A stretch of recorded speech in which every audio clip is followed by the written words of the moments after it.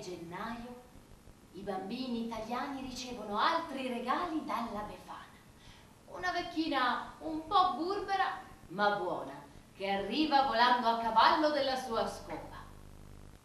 La notte del 5 gennaio di tantissimi anni fa, la Befana era di ritorno al negozio dopo aver consegnato tutti i doni ai bambini. Ma quella notte è successa una cosa tanto strana che tutti i bambini rischiarono di non ricevere più nessun dono. Ora vi racconto. Quella volta la povera Teresa dovette fare 20 giri per allestire la vetrina nuova. E così furono messi tre bambole, un pelle rossa chiamato penna d'argento che andava tanto di moda, generale sempre pronto a dare l'allarme e a scovare il nemico. Cane di pezza di nome Spicciola, un aeroplano con pilota seduto. E non si poteva alzare perché non gli avevano fatto le gambe, un veliero con il suo capitano chiamato Mezza Barba perché per distrazione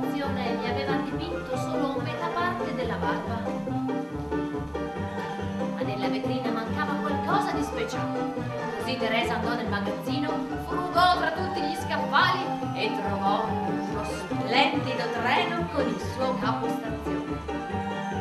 La Befana lo battezzò la freccia azzurra. Teresa lo ripulì per bene e il treno tornò a splendere di un azzurro meraviglioso.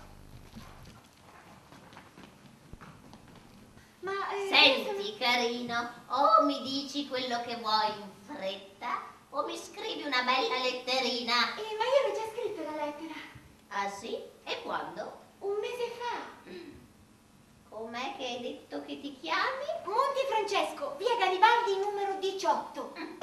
Ora controlliamo subito, vediamo. Francesco era sempre là, con gli occhi fissi sulla freccia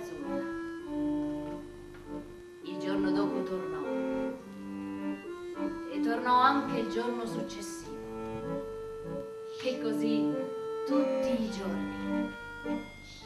Passò un anno e tornò il 6 gennaio.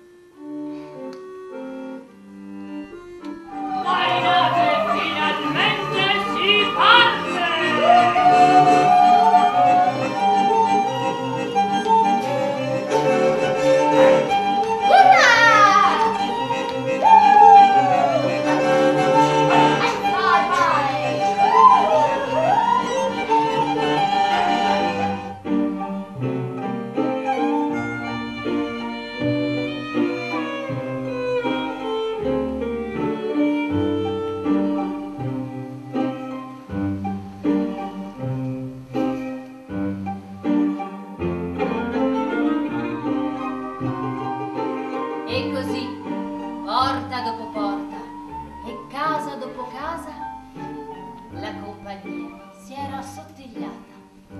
Era rimasta solo la freccia azzurra con il suo capo stazione. L'ultimo bambino rimasto era Roberto.